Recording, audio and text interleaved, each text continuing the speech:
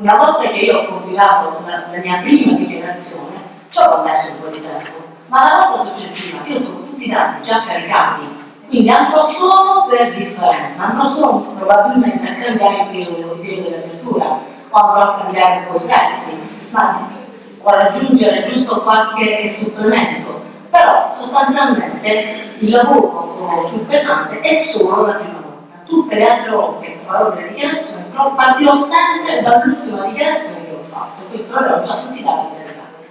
Quindi qui nella prima parte trovate i dati relativi alla struttura, alla licenza, quindi sci, alla eh, licenza, quella che sia, con tutti i numeri del titolare, della nascita, i dati sulla uh, se è una società, della, della società, poi l'indirizzo del punto di chiusura, perché così se tu l'evoluzione dei fatti delle comunicazioni gli arrivano, e i dati sul proprietario se non coincide con eh, il titolare della struttura.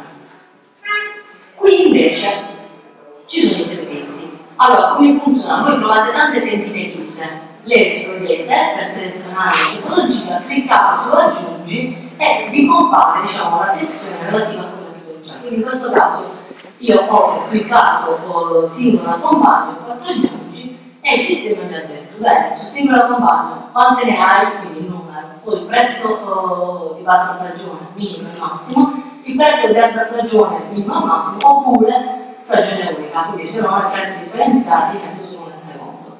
E così via, quindi la sezione ricettività, la sezione abitativa, eccetera.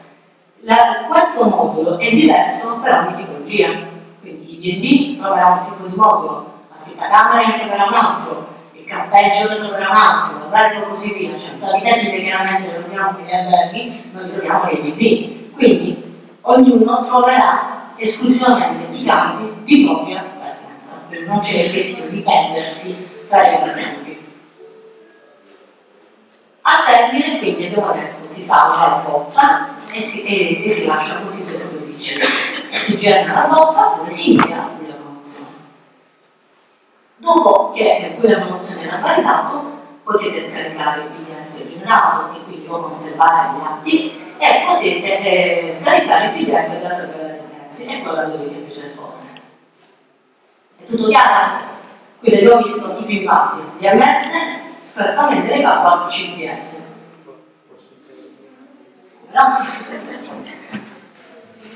no, solo per dire alcune cose rispetto a quello che Maria Assunta eh, evidenziato. Intanto volevo dell'importanza eh, della, della, pubblicazione della struttura sul portale regionale. Noi abbiamo una grande possibilità, tra l'altro in, modo gratuito, perché è una pagina pubblica, quindi non a pagamento, perché qualsiasi pagina poi andate, mi riferisco a Booking, anziché ad altro, comunque c'è da sostenere, c'è da sostenere dei costi.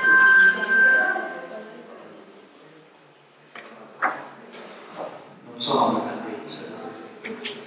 Eh, per cui già questo basterebbe giustificare eh, il fatto di inserirsi all'interno di un circuito pubblico ufficiale.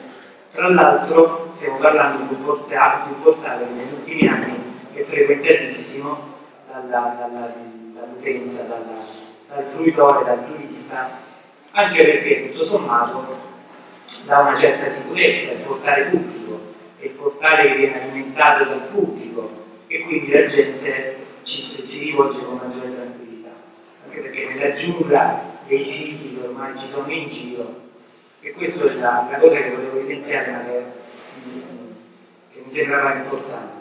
L'altra cosa che volevo dire in maniera più tecnica, eh, quando parliamo di variazione dei periodi di apertura e chiusura, eh, soprattutto nei B&B dobbiamo stare accorti perché nel B&B familiare, come sapete, il periodo di apertura non può superare i 270 giorni all'anno, per cui se noi eh, consumiamo, tra virgolette, i 270 giorni fino a settembre, poi abbiamo degli ospiti a dicembre, evidentemente avremo dei problemi non tanto nella trasmissione della, relativamente a sport, quindi degli arrivi delle presenze, eh, ma quanto perché andiamo contro legge no? rispetto a quanto previsto, quindi rispetto a quello dobbiamo stare un po' accorti.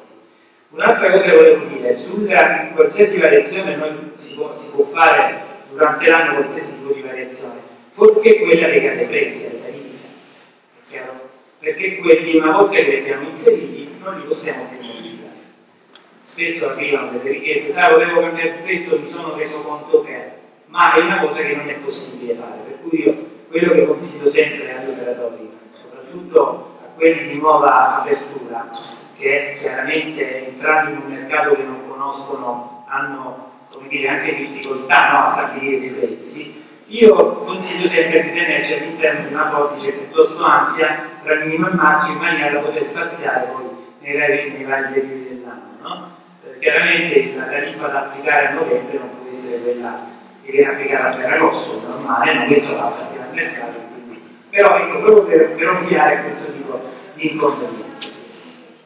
Questo era, diciamo, eh, rispetto a, proprio all'aspetto tecnico, perché queste sono domande che ci derivano dagli operatori, cioè noi nel corso di questi anni, Maria Assunta è, è testimone, diciamo anche perché ha fatto un lavoro diciamo, eccezionale rispetto alla parte informatica, noi siamo partiti dall'anno zero, noi avevamo, prendevamo le tabelle delle arrive delle presenze cartacei e poi dovevamo interpretarli, dovevamo correggerli, dovevamo vedere che cosa c'era scritto, no? E quindi questo provocava anche dei ritardi nella trasmissione, nella, proprio nell'analisi delle arrive e presenze che invece è fondamentale rispetto anche a una strategia che l'agenzia poi deve mettere in campo.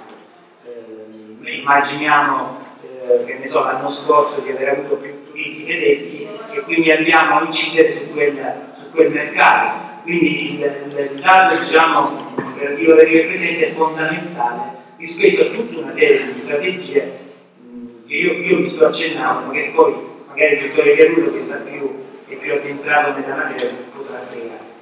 La, ehm, quindi dicevo, noi ci siamo creati una casistica eccezionale rispetto a tutta una serie di situazioni e negli ultimi tre anni abbiamo anche, come dire, soprattutto Maria Assunta, anche su indicazione nostra e su pressione nostra e quindi che giornalmente magari ecco, sottoponiamo una serie di casi che ci derivano dalle strutture ricettive, devo dire che abbiamo migliorato molto il sistema, insomma, eh, oggi, eh, a parte la prima, magari la prima fase, mh, eh, anche nel parlarne, io adesso no, risentendo per l'ennesima volta quello che, ci, che, che viene detto, eh, eh, mi rendo conto che forse è più difficile parlarne che non, che non mettere in atto poi tutto ciò che ci riguarda, perché una volta che ci siamo avviati come struttura, la comunicazione prezzi, la, la, la comunicazione a presenze, alla fine diventa un'abitudine tra l'altro, tanti anni fa, per esempio, le comunicazioni da presentare alla questura si facevano entro la mezzanotte da consegnare in caserma. Voi immaginate cosa significava questo, no? Tra l'altro siamo arrivati a mezzanotte e il carabiniere non ti arriva e quindi tu stai sempre con lo scrupolo di non aver consegnato le carte. Come diceva Maria Assunta, la mancata comunicazione all'autorità di pubblica sicurezza prevede delle sanzioni di ordine penale, quindi capite bene quanto è importante.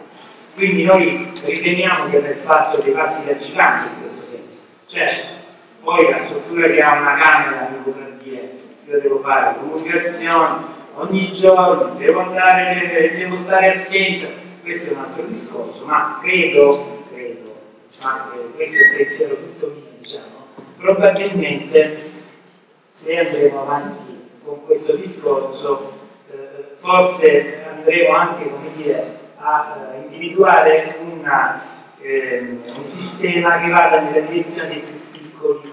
Eh, mi riferisco agli affittacani, mi riferisco al bed and breakfast, al piccolo agriturismo, cioè quelle strutture che non hanno diciamo, una, eh, un'organizzazione tale da poter consentire poi anche la persona che si dedica solo a questo discorso. Ma questo è il pensiero mio. Non so se sarà realizzabile.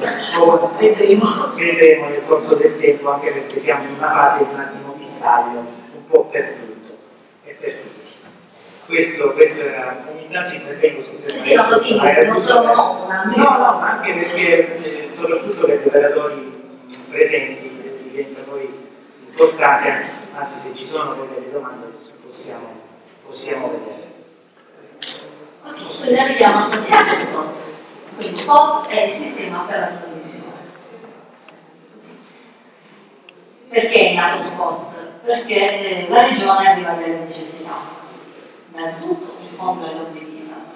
È un obbligo di tutte le regioni, onestamente non tutti lo fanno bene, lo fanno in maniera completa, eccetera. Il nostro sistema è stato presentato all'Istat e abbiamo avuto la loro approvazione, quindi comunque è, è conforme a, a, ai desiderati diciamo, dell'Istat. Dopodiché, e questo è un obbligo, dopodiché abbiamo la regione ha detto vabbè ma uh, i dati io non, non voglio semplicemente rispondere all'Istat e basta, voglio far sì che questi dati mi siano utili.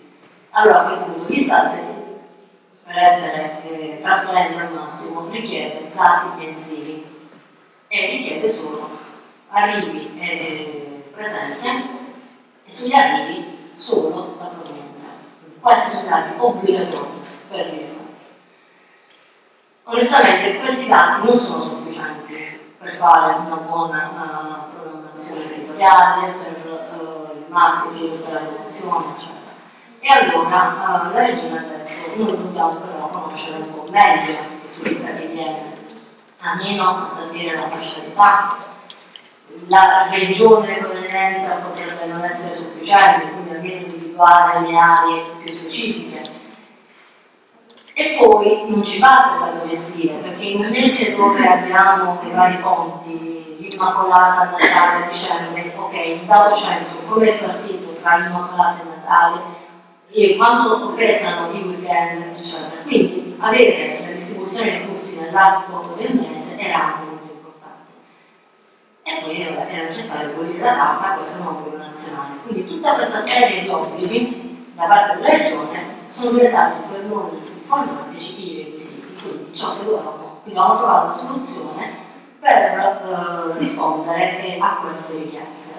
E quindi la soluzione è stata, serve un sistema che rilevi giornalmente i flussi, che chieda informazioni in più, il sesso, la fascia d'età, la provincia di residenza, se un singolo, una famiglia, un gruppo, eccetera. Poi sarebbe bello, questo ci serve, poi sarebbe bello anche avere, ma perché tu venuto in Puglia, come sei venuto, come hai prenotato, cioè tutta una serie di informazioni in più. E quindi questa è la soluzione. Dopodiché ho detto una soluzione regione, ok, un bel sistema per la regione, gli operatori che fanno, trasmettono solo quindi comunicazione multidirezionale, no, dobbiamo anche trovare un qualcosa per restituire il favore agli operatori. E quindi abbiamo pensato anche che la soluzione dovesse prevedere anche delle funzionalità che potessero essere utili per gli operatori. E quindi analisi di benchmarking, eccetera, tutte quelle cose che in genere si pagano. Che gli operatori grandi comprano dei software particolari, chiedono delle consulenze e quindi ottengono queste informazioni. Noi invece abbiamo messo queste funzioni dentro il nostro sistema sport, quindi chiunque le può utilizzare gratuitamente.